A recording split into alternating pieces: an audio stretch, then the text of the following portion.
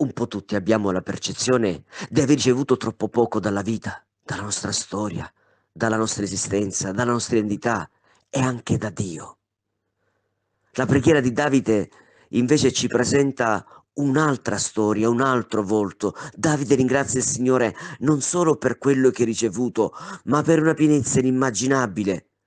Davide è lo specchio di ciascuno di noi. Noi, come Davide, tante volte non siamo consapevoli di quanto Dio ha fatto nella nostra storia e siamo più inclini a vedere le ferite, a, vedere, a vedere il buio, a vedere il male. Ma quando abbiamo questa percezione, allora faremo come dice oggi il Vangelo, quello di mettere la luce non sotto il letto, sotto il moggio, ma sopra il candelabro, perché abbiamo una ricchezza che va vista da tutti. E quando si parla della misura, è la misura di quell'infinito che tante volte noi non abbiamo la percezione. Se noi misurassimo con gli occhi della realtà, della concretezza e della verità, vedremmo l'infinito nella nostra storia.